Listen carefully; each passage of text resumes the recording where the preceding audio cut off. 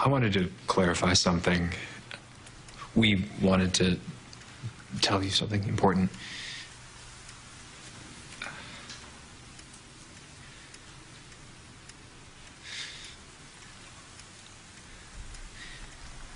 I'm in love with your daughter.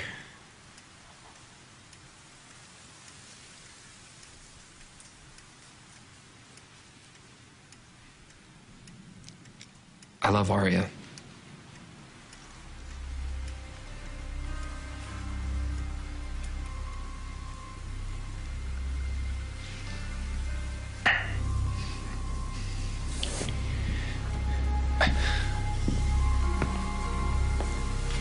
We met before school started this year.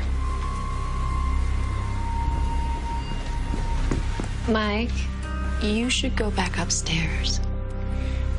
I wanted you to know that this started before Aria was assigned to my class. What started? Well, wait, what, what do you mean before she was assigned to your class? She wasn't my student then. She wasn't your student then?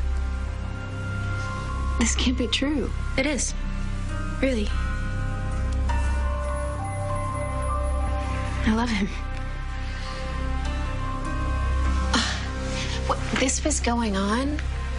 This happened while you were her teacher? Yes. Do you understand what you're saying? Yes, I do. No, I don't think you do, because if you did, you wouldn't be standing here. You wouldn't dare. Oh, Aria, go upstairs. Take Mike with you. No. No, I'm I'm staying here. If this is true, what you're telling us. It is. No. What I'm hoping can happen is that. No, listen, is- what is going to happen is you are going to leave this house right now. Mr. Montgomery? End of conversation. Dad, just Aria, no. Byron. Just- I am not asking you. I am telling Dad. you. Babe. Mike.